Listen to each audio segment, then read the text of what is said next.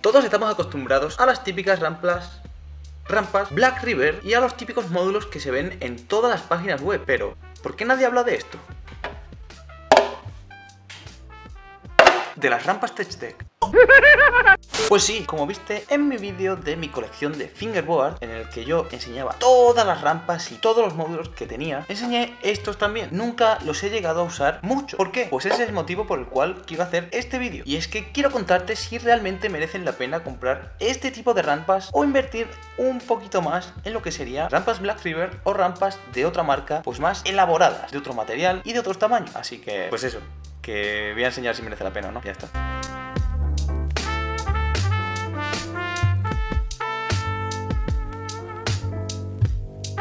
Antes de nada, en el caso de que seas nuevo o nueva, TechDeck lleva muchísimos, pero que muchísimos años en el mundo del fingerboard e involucrado en el sector del skate como tal, porque lo que pretende directamente es imitar pues lo que sería el skate. Y claro ejemplo de ello son las marcas y los gráficos que vende. Todos los gráficos que vende son gráficos que se venden en el mundo del skate de verdad. Todos los gráficos que ofrece son de compañías, de marcas de skate que existen de verdad. De ahí viene también el hecho de que TechDeck quisiera imitar lo que sería el mundo del skate ya no solo en las tablas, en los ejes o en las ruedas, sino también con las rampas. Aunque bueno, no solo se ha dedicado eso Deck a lo largo de los años, incluso tiene videojuegos de la Game Boy del año de Catapum Chimpum. Y es que sí, hay un montón de productos de Deck que no conocemos pero que realmente existen. Y es que, como digo, a lo largo de toda su historia ha hecho muchísimo por el mundo del skate. Y como digo, parte de todo eso que ha hecho son rampas. Y es que sí, lleva haciendo rampas muchísimos pero que muchísimos años. Y prueba de ello es que a día de hoy también sigue sacando rampas. Y ya no solo rampas, sino maletines que se desmontan y se hacen skateparks como tal. Eso todavía no, no, todavía no. Simplemente me voy a limitar a enseñar estas.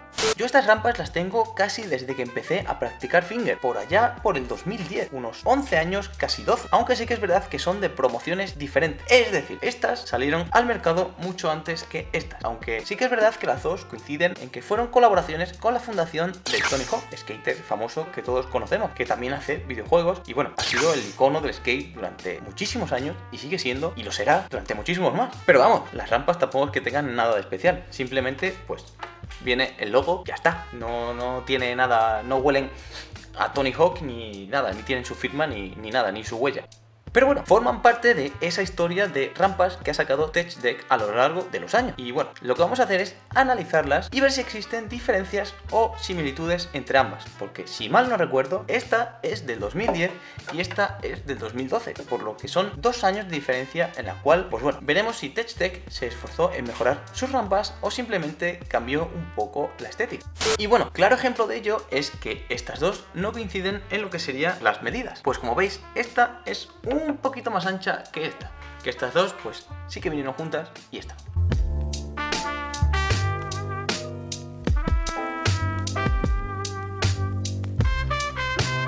Vamos a hacer una pequeña review de esta rampita, que en este caso pues es un plano inclinado con una mini barandilla. Y cuando digo mini barandilla, no sé si ahí se apreciará y se verá pues como que es normal, pero así en persona es muy, pero que muy, pero que muy, muy, muy pequeño, demasiado. Empezando lo que sería la review, vemos que es de plástico es de plástico y muy blando, porque si hago así un poquito de fuerza, pues incluso se puede ver que se dobla. Tampoco voy a ser muy bruto porque, uno, no la quiero romper y dos, todavía no la he patinado, así que tranquilidad.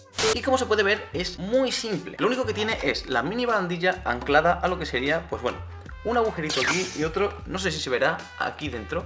Y el resto, pues, es simplemente plástico. Y una cosa buena que trae es que trae dos huequitos, que esto lo que permite es que a través de estos plastiquitos se pueda unir a otras rampas, como después haremos con las otras que he enseñado. Así que por esa parte, lo bueno que tienen las rampas TechDeck es que independientemente del año al que pertenezcan o independientemente del año en las que lo compres, van a valer en cierta medida, porque las vas a poder conectar siempre y cuando tengan este huequito de aquí y bueno, los plastiquitos para unir.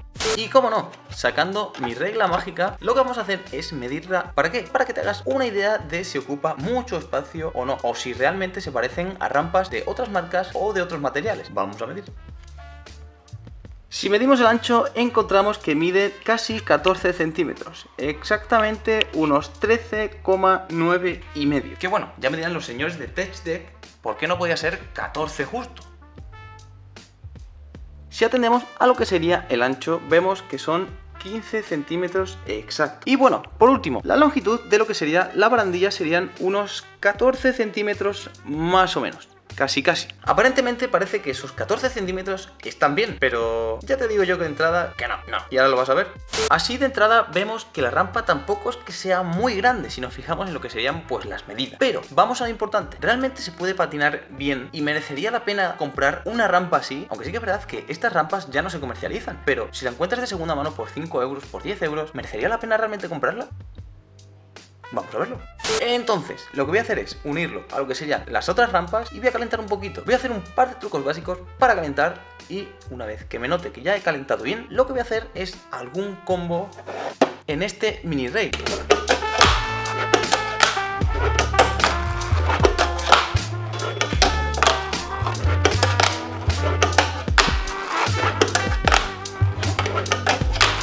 Ya he calentado un poquito y la primera impresión que me ha dado es que la caída de la barandilla es muy baja, además de que es muy corta.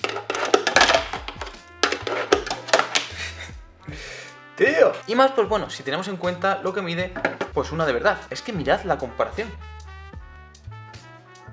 vamos a sacar provecho de lo que sería esta barandilla, así que lo que voy a hacer es un par de combos. Así que yo creo que el primer combo va a ser un switch frontside swivel, switch hard flip, switch backside lips.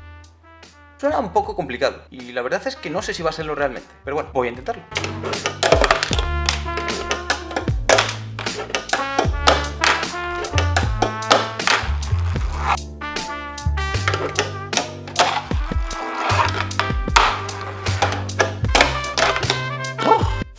Ya patinado lo que sería esta parte, lo que vamos a hacer ahora es analizar esta parte, es decir, el quarter y la parte de arriba. Así que...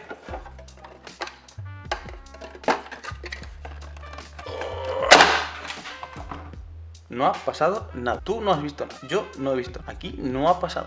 Como decía, lo que voy a hacer es analizar un poquito, como he hecho con la otra rampa, estas dos. Es decir, voy a tomar un poquito de medidas, aparte de deciros, pues bueno, que esta también es de plástico blandito, ambas dos, y pues bueno, también nos traen lo que serían los huequecitos para unir, pues en este caso, pues con muchas rampas más, es decir, para hacernos como pues esto fuese pues la parte central de todas las rampas, pero hay un pequeño problema, es muy corto, veréis. Como las rampas de antes, esta exactamente mide 14 centímetros, exactamente igual pues lo que sería pues la rampa anterior. Y eso es un verdadero problema. ¿Por qué? Pues porque sabiendo que un finger mide casi 10 centímetros, lo que tenemos es un finger y medio de distancia para deslizar antes de hacer un truco. No sé tú, pero a mí eso me parece muy corto. Y bueno, si atendemos a las medidas de lo que sería pues el cuarter en sí, vemos que mide casualmente 14 centímetros igual. No sé qué problema tienen los señores de TechDeck con el número 14, pero ¿por qué no alargan un poquito más las rampas y se olvidan de ese número? Vamos a empezar ya con lo que serían los combos, aunque en este caso no es un combo como tal. Lo que voy a hacer es un truco a blunt, y en este caso va a ser 3 flip a blunt en esta rampa. Es muy suave y cuanta menos vertical, pues más difícil va a ser. Creo que me he explicado bien.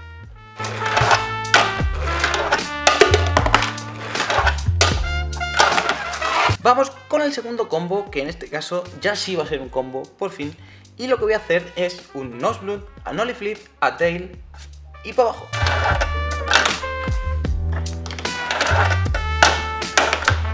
Y ahora voy a hacer un combo muy parecido a ese que acabo de hacer, pero un poquito más difícil. Y es que lo que voy a hacer es noseblood, nollie flip, pero en vez de a tail, a noseblood otra vez.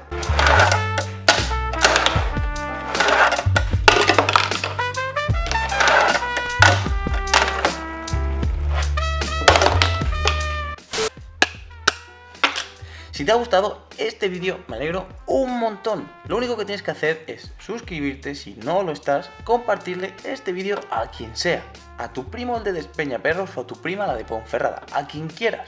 Compártelo, ¿por qué? Porque así me ayudas a mí a crecer y me ayudas a que siga haciendo este tipo de vídeos. Y además de todo eso, lo siguiente que tienes que hacer es darle al finger. Así que no sé qué haces viéndome la cara esta fea que tengo. Venga a darle al finger. ¡Adiós!